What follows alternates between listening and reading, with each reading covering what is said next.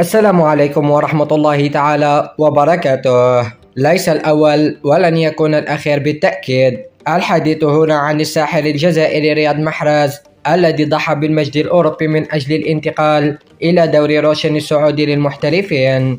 صندوق الاستثمارات السعودي نجح في جلب العديد من النجوم العالميين أبرزهم المهاجم الفرنسي كريم بنزيما الذي ارتدى قميص العميد الاتحادي رسميا لينضم إلى الأسطورة البرتغالية كريستيانو رونالدو المنتقل إلى الفريق النصراوي في العام الماضي بالإضافة إلى السنغالي ساديو ماني والفرنسي نغولو كانتي والعديد من النجوم والعديد من النجوم الذين اختاروا دوري روشن السعودي للمحترفين وأعلنت الرابطة الخاصة بدوري روشن على أنها ستجري مباراة بين كل النجوم المنتقلة إلى الدوري السعودي وفي مقدمتهم النجم الجزائري رياض محرز الذي انتقل إلى صفوف الأهلي السعودي والذي عاد حديثا إلى دوري روشن السعودي بالإضافة إلى زميله فيرمينيو وبالإضافة إلى العديد من النجوم العالميين. وفي الأخير إذا أعجبكم الفيديو لا تنسوا الاشتراك في القناة وتفعيل زر الجرس. يصلكم كل جديد.